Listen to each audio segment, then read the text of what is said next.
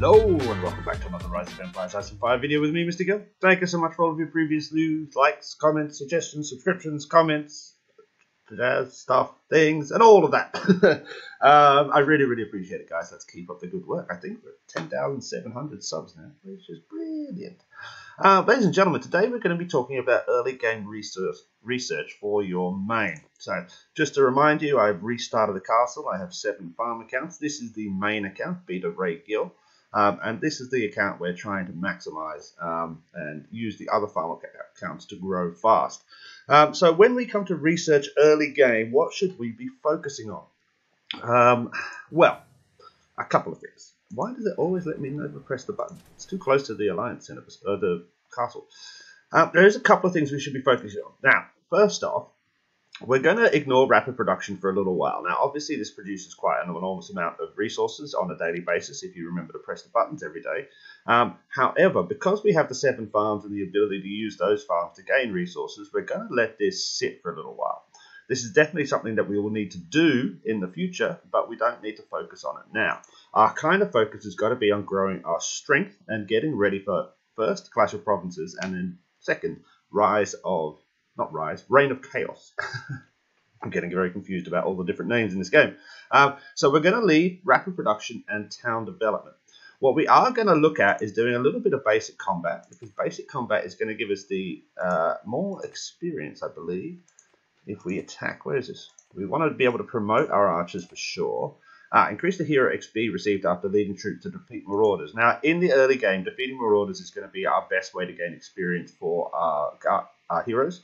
So we really want to make sure that we can get to this. So basic combat is definitely going to be a focus. Um, but more importantly, I think class legion research is going to be where we want to really stick our thing. We want to get this as maxed as possible, um, as fast as possible.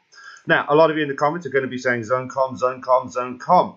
Uh, and if you don't know what zone commemoration is, it is a research that is available once Clash of Provinces has been declared in your state. Now, that doesn't happen uh, immediately. Um, it takes a few weeks for every new state to start the Clash of Provinces event. Uh, and Clash of Provinces, as everybody would know, lasts pretty much forever. Uh, it's a four weekly cycle of attacking, uh, you know, daily events and daily ways to gain and daily tasks to do, etc., etc., etc. One of those things that comes with Clash of Provinces comes is zone commemoration. So zone commemoration is a research. This research uh, enables you to increase the points you earn from doing the tasks in Clash of Provinces. So it is incredibly important. However, because it's not available, we don't need to worry about it. What we do need to worry about is making sure that we maintain and hold our level of courage medals. So you can see here, courage medals we have 33. We want to make sure we're getting as many of these as possible. Now, in the early game, the way to get these is obviously to attack certain levels of monsters, um, and you get them from various chests. So we're not going to be able to stockpile a huge amount, but we do want to be keeping an eye that we've got courage medals. Now, there is a video on my channel, I think if you search on top, saying how to get courage medals, which tells you every way that you can uh, use in order to uh, gain more courage medals. So have a look at that video if you need a refresher.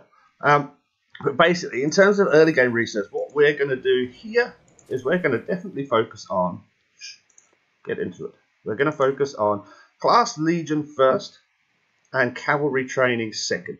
We're basically going to do these two back and forth as much as we can, with a tiny little bit into basic combat to start. Um, now, I'm doing it this way, and I'm doing cavalry, and we'll have to do a video on why we're doing cavalry, um, because I believe that this is going to give me the best opportunity to be as strong as possible for basically Reign of Chaos. So I'm looking a little bit further past Clash of Provinces to when Reign of Chaos starts. And effectively, Reign of Chaos is the game. I've said that many times before. It's a massive part of the game. Uh, and so when it happens, you kind of want to be ready. Now, it's roughly well, 8 to 10 weeks uh, after a new state, after a new kingdom or province or whatever they're called uh, these days, after a new province is kind of made. Uh, I think it's roughly 8 to 10 weeks before the Reign of Chaos event will start. So we do have time. We are roughly 20 days into this account, if I remember rightly, if not a little bit more. Um, so we do need to kind of get a little bit of a move on. We are a little bit behind. Uh, we could definitely do a lot more training. Now, why do we want these things to be uh, good? Because basically in Reign of Chaos, you're going to be attacking tiles, um, and to take those tiles, you're going to need certain levels of strength. Uh, so by getting these two researchers done, Cavalry Training and Class Legion, we're going to be able to take tiles easier, um, for sure. Uh, so that's basically what I'm going to suggest is and should be your focus. Let's get a bit of this done uh, for the beginning of the game. Now, if you're not running farm accounts, so if you don't have any farm accounts, then you're definitely going to need to spend some time on rapid production and town development. But I, as I said, I'm going to leave these uh, for a little while. Focus on these two. Now, that doesn't mean that I can't be doing something. You know, research should be continued at every every time of the day, so you should never not be researching something. Uh, and a lot of these early researches only take, you know, 5, 10, 15, 20, 30 minutes. So you can easily knock out a few every time you kind of log in. Um, and also, don't be afraid to be speeding them up. There's no point in saving any of your kind of research speed up. We've got five minutes here. This one takes an hour. We can definitely speed that up a little bit. Uh, like so. Yeah, an hour is fine.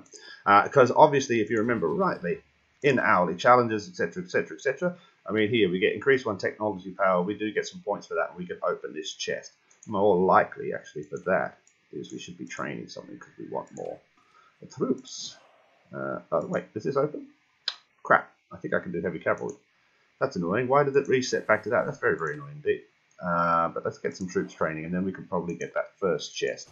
It's absolutely super important that we get the chest, by the way. Uh, oh, wait, I can train that. God damn it. Why does it automatically set back to the one you don't want to do? Very, very frustrating. Okay, so but basically, in terms of research, early game, you're running a castle with farms.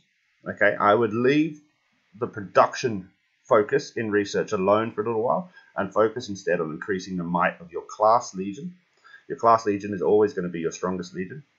Um, and so I would focus on that and then focus on the particular type of troop research. So at the moment, as I said, I'm focused on growing a lot of cavalry. So I'm going to be focusing on the cavalry research. Um, now, the reason I'm focused on cavalry, again, as I said, is a different video, but you know that's kind of uh, the view I have at the moment. As soon as zone commemoration opens, so that would be when Clash of Provinces is declared in this state, which is, I think, well, we can kind of see, because Clash of Provinces has to come after Battle for the Throne. So I think it's going to be 21 days, so probably three weeks. I believe Clash of Provinces starts the week after the first Battle for the Throne. And Clash of Provinces is basically a state versus state or kingdom versus kingdom event. So we need to settle our own throne first in this state before we can then uh, start arguing. So I'm pretty sure it's going to be 21 days before Clash of Provinces starts.